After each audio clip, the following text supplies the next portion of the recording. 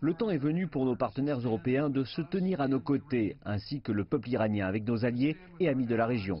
Le temps est venu pour nos partenaires européens de se retirer de l'accord sur le nucléaire iranien et de se joindre à nous, alors que nous exerçons les pressions économiques et diplomatiques nécessaires pour donner au peuple iranien, à la région et au monde la paix, la sécurité et la liberté qu'il mérite. Mike Pence s'est montré particulièrement critique vis-à-vis de la Grande-Bretagne, de la France et de l'Allemagne. Ces trois pays ont dévoilé un nouveau mécanisme financier plus tôt ce mois-ci dans le cadre de leurs échanges commerciaux avec l'Iran.